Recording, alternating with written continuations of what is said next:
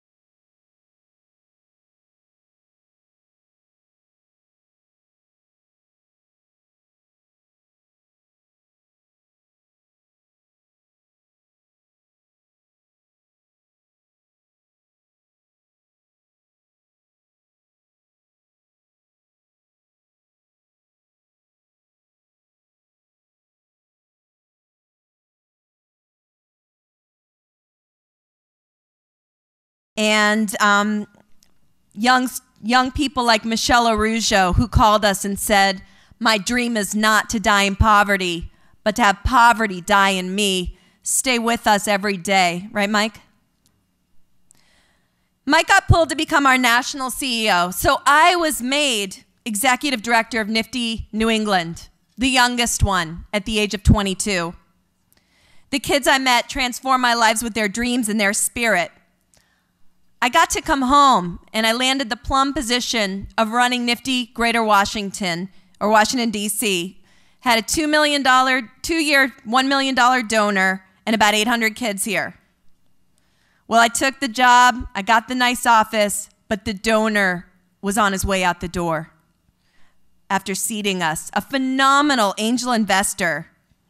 But the other offices that this donor pulled away from were closing up shop, but I wasn't ready to close up shop. So we started from scratch. We started raising money. We've now served 25,000 young people from DC, Maryland, and Virginia and ignited so many dreams. It's the nifty team Kate, Varice, Amina. It's the board John, Monish. It's Patty Alper. It's Tian Wong and Edie Frazier. It's so many of you in this room that have been with me on this journey here in Washington since 1995. The next chapter of my nifty book, as my 20th anniversary approaches, of course, I started when I was 12. I will be stepping down to look for another high impact challenge that will be as rewarding as Nifty has been, but that's going to be tough. It'll likely be in the startup space or the private sector.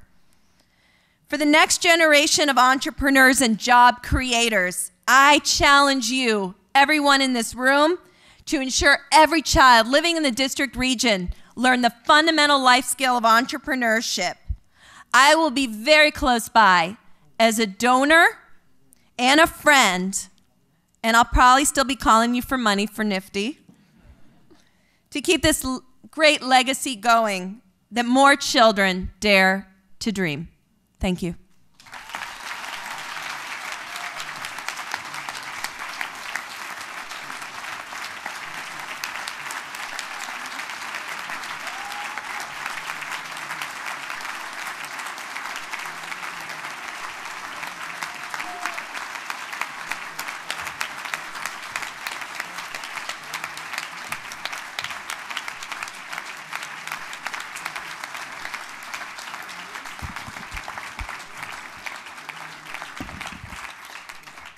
Congratulations once again, Julie. Uh, what an evening this has been. It has been so inspirational. I would once again like to thank Julie and Sid and John for inviting me to be part of such a special evening. Congratulations once again to the students, the educators, and the locally grown honorees tonight. You should be so incredibly proud of all that you've accomplished. And I know I speak for many of us in this room when I say that we can't wait to see what the future holds. Um, I've just been told that the tax pledges have been upwards of $50,000. But keep them coming. We want more. Did you hear Julie said she wants more? So please keep them coming. And thank you so much for your support tonight, for sharing your passion for entrepreneurship, and for the nifty students and the teachers, the educators, and the supporters tonight.